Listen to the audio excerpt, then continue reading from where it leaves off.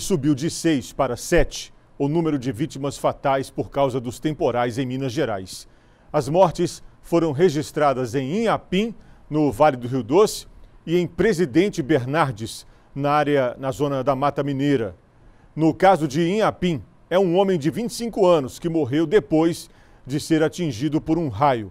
Gleison Dutra e um colega prestavam serviços para uma empresa fornecedora de internet estavam próximos a uma torre. Após o início da chuva na região, os dois tentaram se esconder em um abrigo, mas foram atingidos. Gleison, que era morador de Dom Cavate, cidade vizinha, morreu no local. Leonardo Nunes, a outra vítima, morador de Inhapim mesmo, foi socorrido com vida e levado para um hospital de Caratinga. Segundo a Defesa Civil do Estado, o Gleison foi a sexta vítima fatal em Minas Gerais por causa das chuvas.